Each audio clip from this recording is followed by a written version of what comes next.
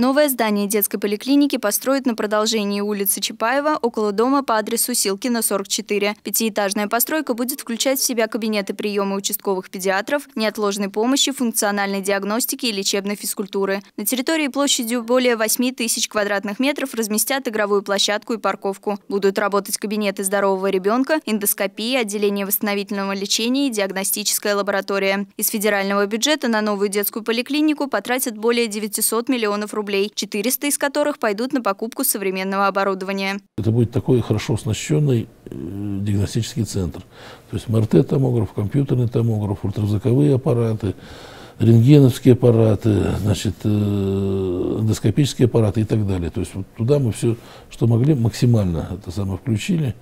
И как бы все это устояло при экспертизе, все это принято, и это будет, постав... это будет поставлено. Согласно проекту, на втором, третьем и четвертом этажах будут находиться игровые зоны для малышей, чтобы время ожидания врача проходило в комфортной обстановке. Каждое место оборудуют детской мебелью и игрушками, мягким, безопасным напольным покрытием. Для хорошего настроения маленьких пациентов стены украсят рисунками и аппликациями. Пока будут строить новую поликлинику, прием юных больных перенесут с Монастырской площади на Октябрьский проспект, дом 6. Сюда, в здание бывшего физиотерапевтического отделения, перенесут прием маленьких пациентов. Несмотря на то, что здание меньше по размеру, работать детская поликлиника будет в штатном режиме.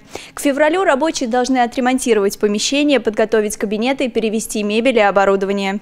На временное место переедет весь медперсонал. По-прежнему будут работать процедурные и прививочные кабинеты, кабинеты неотложной помощи и педиатрии, регистратура и гардероб. Во время ожидания приема врача в коридорах дети смогут посмотреть мультфильмы и поиграть в специальных местах попробуем создать какую-то игровую зону и игровые как бы такие вот комплексы, пусть небольшие комплексы, чтобы если придется это самое ожидать, то чтобы это ожидание было ну, в более комфортных условиях. Хотя общая задача это сократить время ожидания до 10-15 минут. Сейчас мы над этим э, работаем.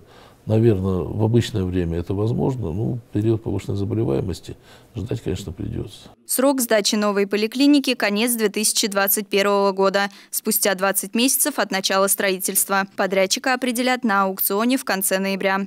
Дарья Козина, Артемий Глазков, Сергей Рябов. Служба новостей Саров 24.